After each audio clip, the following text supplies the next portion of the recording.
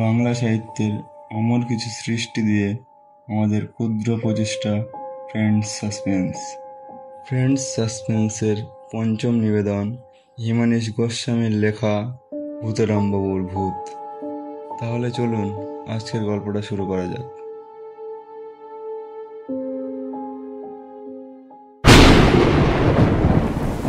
আজ রাত্রে তাহলে হয়ে যাক একখানা ভূত।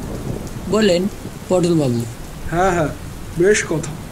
সাধারণ একটা জমাটি গোছের ভূত বুধুরামদা বললেন, ঝিঙে অধিকারী।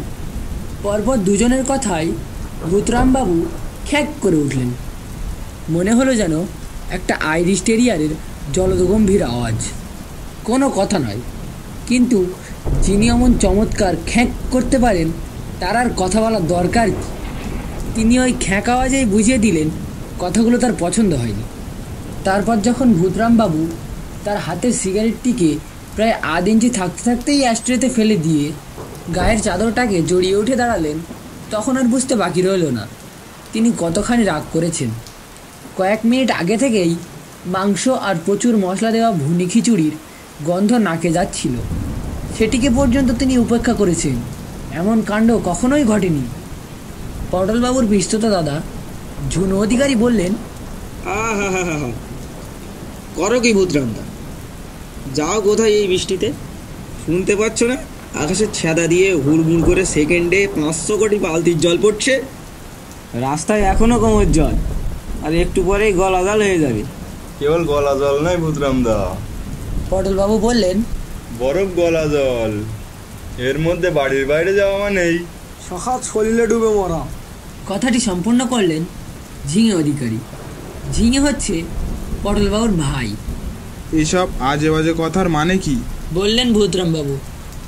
তিনি আবারও বললেন তোমাদের ভাষা কোথাকার হ্যাঁ হয়ে যাক একখানা ভূত তারপর ওই যে কে বলল ছাড়ুন একটা ভূত।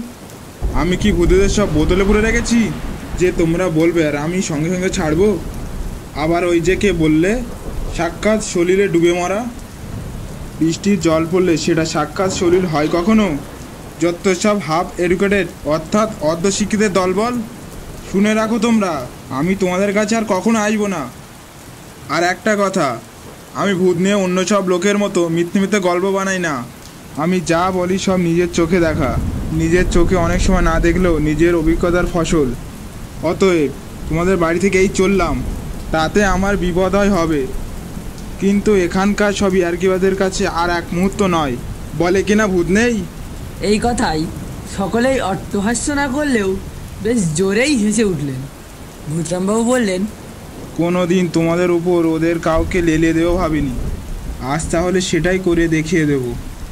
বলে কারোর বাধা নামে নেই দরজার বাইরে গিয়ে নিজেই ঝপ করে দরজা বন্ধ করে দিলেন। আর তার কয়েক সেকেন্ড পরেই ঝপাং করে একটা আওয়াজ হলো। উপস্থিত সকলে ভয়ে শিউরে উঠলেন। একজন দরজা খুলে দেখতে গেলেন ভূতরামবাবু জলে পড়লেন কিনা। কিন্তু দরজা খুলতে শোঁ করে ঘরে হাওয়া ঢুকে লণ্ঠন দুটোকেই নিভিয়ে দিল। বৃষ্টির প্রবল ছাঁট আসতে লাগল আর খুব কাছেই হুড়মুড় করে গোটা ছয়েক বাজ প্রায় একসঙ্গেই পড়ল। ঝিঙেবাবু তার টেবিলে রাখা তিন ছেলের বৈদ্যুতিক টর্চটি ধরতে যেতেই সেটা গড়িয়ে মেঝেতে পড়ে ভেঙে গেল। পটলবাবু বললেন ঝামেলায় ফেলল। বুড়োকে চড়ানো ঠিক হয়নি। ঝিঙেবাবু বললেন লোকটি এমন যে ওকে না চড়ালে ঠিক জমেই না। ভাবলাম বেশ বৃষ্টি বাদলার দিন আছে আজ একটু আমোদ করা যাক। কিন্তু ভূতরামবাবু এ এমন খেপবেন তা কী করে জানব? আমিও তো তাই বলি কেমন করে জানব? উনি আমাদের উপর অতক্ষণি খপ্প হবেন তাছাড়া এমন চমৎকার খিচুড়ির গন্ধ। এরপরই একটা পোড়া গন্ধ নাকে এলো। ঝিঙে অধিকারী বললেন সর্বনাশ করেছে খিচুড়িটা পুড়লো। রান্নাঘরটা একটু দূরে বারান্দা দিয়ে যেতে হয়। আগে বারান্দাটা ছিল রোয়াকে কিন্তু এখন সেটাই আড়াই ফুট উঁচু দেয়াল দিয়ে ঘেরা বারান্দা করা হয়েছে যাতে বাইরের কেউ বসতে না পারে। সেসব পুরোনো দিনে এই রোয়াকে বসে কত আড্ডা যে হতো, কত রাজা, উজির, বধ হতো। কিন্তু এখন সেদিন আর কই? খালি বারান্দা পেয়েই লোকে হয় এসে জোর করে শুয়ে থাকে, নয়তো দোকান সাজিয়ে বসে। আড়াই ফুট দেয়ালের উপর ফাঁকা যেটুকু জায়গা ছিল, তা গ্রিল দিয়ে ঘেরা। লোক আটকালেও হাওয়ার ঝোড়ো বৃষ্টি ঠেকানো যায় না। ভয়ঙ্কর বৃষ্টি এসে বারান্দায় পড়ছে। বাইরের বিদ্যুৎ চমকানো শুরু হওয়ায় ঘণ্টা দেড়েক আগেই বিদ্যুৎ সেই যে চলে গিয়েছে এখনও আসেনি। ঝিঙে অধিকারে অন্ধকারে বিশেষ কিছু ঠাওর করতে পারলেন না। বুঝতে পারলেন উনুনটা নিভু নিভু হয়ে রয়েছে। আর তার উপরে কড়াইটা থেকে মাংস দেওয়া খিচুড়ির পোড়া গন্ধ পুরো ঘরটাকে ধোঁয়ায় ভর্তি করে দিয়েছে। তিনি আন্দাজে ঘরের ভেতরে ঢুকতেই পায়ের সঙ্গে নরম কিছু ধাক্কা লাগল। তিনি নিচু হয়ে হাত দিতেই বুঝতে পারলেন মানুষের শরীর? তিনি বুঝলেন মালতী অর্থাৎ তারই স্ত্রী।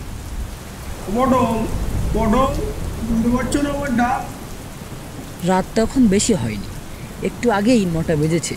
কিন্তু বৃষ্টিতে ঝড়ে বিদ্যুতের ঘন ঘন ঝলসানি আর আওয়াজে মানুষের কোনো সাড়া কোনো দিক থেকেই আসছিল না। মনে হচ্ছিল যেন গভীর অন্ধকার পৃথিবীটাই ডুবে রয়েছে। কোথাও কেউ নিশ্চয়ই আলো জ্বেলেছিল। কিন্তু জানালাটা বন্ধ থাকায় রাতটা যেন আলকাতরা নিয়ে লেপে দেওয়া একটা কালো পর্দা বলে মনে হচ্ছিল। অবশ্য বিদ্যুতের আলো ক্ষণে ক্ষণে চোখ দাঁটিয়ে দিয়ে আবহাওয়াটাকে আরও ভীতুময় করে তুলছিল। ঠিক এই সময় একটা কুকুর কোথাও তার চলে চিৎকার করছিল। সে চিৎকার যেন কোনো স্বাভাবিক কুকুরের চিৎকার নয়। মনে হচ্ছিল যেন কোনো কুকুর প্রবল আতঙ্কে মৃত্যু ভয়ে আর্তনাদ করছে। সে আওয়াজ তার স্বরে করলেও তার গলা থেকে বেরোচ্ছিল। ঝিঙে অধিকারীর মনে বড় আতঙ্ক হলো। তার ডাক কেউ শুনতে পাচ্ছে না। কেউ উত্তর দিলেও তা তার কানে যাচ্ছে না। উনি যে কী করবেন বুঝতে পারলেন না। তার মনে হলো ভূতরামবাবুকে ওই রকমভাবে ঠাট্টে আর কি করা তাদের উচিত হয়নি। কিন্তু ঠাট্টে আর কি তো তারা বারবারই করেন। ভূতরামবাবু প্রায়ই আসেন এবং মাঝে মাঝেই তিনি ভূতের গপ্প বলেন। প্রত্যেকবারই বলেন। তিনি যা বলেছেন, তার একটি বাক্যও মিথ্যে নয়।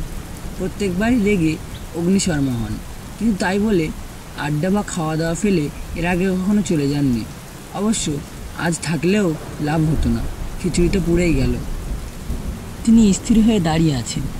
ঘরের মধ্যে তার স্ত্রী মালতীর দেহ পড়ে আছে। তার কীরকম ভয় করছে। মালতীকে সাহায্য করছিল যে মেয়েটি সেই টুকটুকি বা কোথায় গেল। তিনি চিৎকার করে ডাকলেন টুকটুকি টুকটুকি। কিন্তু কেউই সাড়া দেয় না। রান্নাঘর থেকে বেরিয়ে পড়ে তিনি ছুটে চললেন আড্ডা ঘরের দিকে। চলতে গিয়ে আবার পা পিছলে গেল বারান্দায়। ধেয়ে আসা বৃষ্টির ছাটে।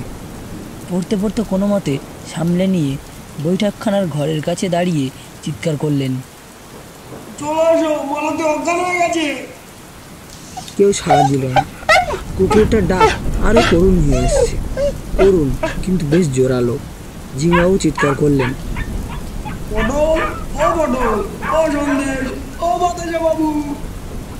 আগে বলা হয়নি। আড্ডায় সেদিন সন্দেশ এবং বাতাসাবাবু দুজনেই উপস্থিত ছিলেন। ওরা দুজনেই ওদের আত্মীয় এবং বন্ধু। পটল সন্দেশ বাতাসাবাবু বলে অনেকবার ডাকলেন ঝিঙাবাবু কেউ সাড়া দিল না। ঘরের মধ্যে যাবেন কি না ভাবছেন। গেলেই বা লাভ কি? কিচ্ছু তো দেখতে পাবেন না। এতক্ষণ তবু তো বিদ্যুৎ চমকাচ্ছিল হঠাৎ তাও আর নেই। বিদ্যুৎ চমকানো বন্ধ হয়ে সমস্ত একটা জমাট অন্ধকারে ঢেকে রয়েছে। কিন্তু ওর চিৎকার কি কারও কানে যাচ্ছে না? কেউ সাড়া দিচ্ছে না? এটাই বা কেমন করে সম্ভব? আর যে কলকাতা, এই ঘণ্টাখানেক আগেই ছিল হয়ে হট্টগোলে ভরা, প্রাণ চঞ্চল। সেখানে পরিত্যক্ত কবরের স্তব্ধতা এলো কেন? এবং কীভাবেই বা? আবার কুকুরটির আর্তনাদ। যেন তাকে ভয়ানক কেউ আক্রমণ করেছে। বৃষ্টির আওয়াজে কুকুরের ডাক কমাতে পারছে না। ঝিঙাবাবুর বুক দূর দূর করে উঠল। এমন সময় আকস্মাৎ কোথা থেকে ভেসে এলো এক কর্কশ কণ্ঠের পেঁচার ডাক। ঝিঙাবাবু ভাবলেন হুম এইটাই বাকি ছিল। তার মাথার মধ্যে কেমন করতে লাগল। তিনি বারান্দায় জলের মধ্যেই বসে পড়লেন। চারিদিকে তাকিয়ে দেখবার চেষ্টা করলেন। কিন্তু কিছুই চোখে পড়ল না। পড়ে গিয়ে তার কোমরে যেখানে লেগেছিল সেখানটায় বেশ ব্যথা করতে লাগল। এমন সময় তিনি শুনতে পেলেন পায়ের আওয়াজ। রান্নাঘরের দিক থেকে কেউ পা ঘষতে আসছে। বারান্দার জলের সঙ্গে পায়ের ধাক্কায় জল ছলাৎ ছলাৎ করে উঠছে। কে তাকালেন সেদিকে কিন্তু কিচ্ছু দেখতে পেলেন না। তিনি বুঝতে পারলেন কেউ তার দিকে এগিয়ে আসছে। কে হতে পারে? বেশিক্ষণ ভাবতে হলো না।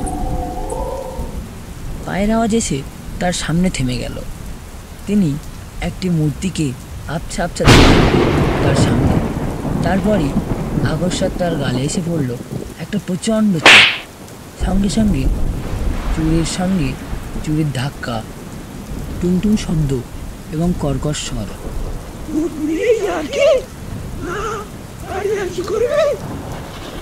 বলার সঙ্গে সঙ্গে আর একটা চর এসে পড়ল অন্য গালে ধাই করে। ওরে বাবা এই যে ভূতরাম বাবু। ঝিঙেবাবু ভূতরামবাবুর দুটো রামচর আর ধমকানিটা ঠিক পছন্দ করতেন না। কিন্তু ঠিক পছন্দ করতে না পারলেও তার গলার স্বরে খুশি হয়ে উঠলেন। তবু তো একজন পরিচিত ব্যক্তির কণ্ঠস্বর তিনি বললেন রাগ করবেন না ভূতরাম বাবু। আমরা আপনাকে সম্মান করি। আপনার কথা বিশ্বাস করি। আপনি যেসব ভূত দেখেছেন সেগুলি সত্যি না হলেও আপনি তা বলবেন কেন? আপনি হলেন গিয়ে কলির কেষ্ট। ভাই করে একটা বিরাট চড় এসে পড়ল আবার ঝিঙেবাবুর গালে। গালটা চড়চড় করে উঠল। ঝিঙেবাবু বললেন ভূতরাম বাবু আমার বোধহয় একটু ভুলই হয়ে গেছে। আপনাকে কলির কেষ্ট বলাটা আমার অন্যায় হয়ে গেছে। আমার বলার ইচ্ছে ছিল আপনি হলেন গিয়ে কলির যুধিষ্ঠির। হ্যাঁ ঠিক। আপনি কলির যুধিষ্ঠিরই। আপনি এরপর যা বলবেন সবই বিশ্বাস করুন একটু বাদ ফাদ দেবো না। উহ গাল দুটো যে জ্বলছে না। সাংঘাতিক জোর তো আপনার হাতের। ভূতরামবাবু ক্রুদ্ধ কণ্ঠস্বর শোনা গেল।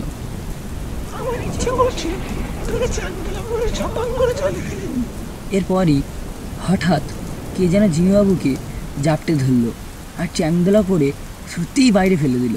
আর আওয়াজ হলো জলে পড়ে তিনি কোনো মতে আঁকুপাকু করতে করতে একটা পেয়ারা গাছের ডাল ধরে কোনো ক্রমে নিজেকে রক্ষা করলেন। ভাবলেন তুই কেমন হলো? ভূতরামবাবুর তো ওই রোগা পাটকা চেহারা শুটকি মাছের মতো বিচ্ছিরি শুকনো দেও তার গায়ে এতখানি শক্তি এলো কোথা থেকে? তার আরও মনে হলো ঝপাং করে তাকে যে জলে ফেলেছে তার হাতগুলো বেশ নরম। কিন্তু তা কেমন করে হয় তিনি ভাবতে পারলেন না। এবার কানের কাছে হঠাৎ আবার ভূতরাম বাবুর গলার আওয়াজ হলো। আজ তুই পারবি ওই বেড়ার ডাল ধরেছিস বলে বেঁচে যাবি? এই দেখ। এরপরই ঝিঙাবাবুর মনে হলো কে যেন তার পা ধরে টানছে। তিনি কোনো মতে পেয়ারার ডাল ধরে চিৎকার করে বলতে লাগলেন কে আছো বাঁচাও আমাকে এই না না ভূতরামবাবু ধরেছে রাম রাম রাম। সঙ্গে সঙ্গে পা থেকে কে হাত সরিয়ে নিল। তিনি বুঝলেন রাম রাম বলাতেই এই উপকারটা হয়েছে। তিনি তখন ক্রমাগত রাম রাম রাম বলতে লাগলেন আর ভাবতে লাগলেন ভূতরাম কি ভূত হয়েছেন? ভূত না হলে রাম রাম শুনে তাকে ছেড়ে দেবেন কেন? যেমনি একথা ভাবা সঙ্গে সঙ্গে তিনি প্রবল ভয়ে অজ্ঞান হয়ে গেলেন। জলে পড়ে কোথায় তলে গেলেন বোঝা গেল না।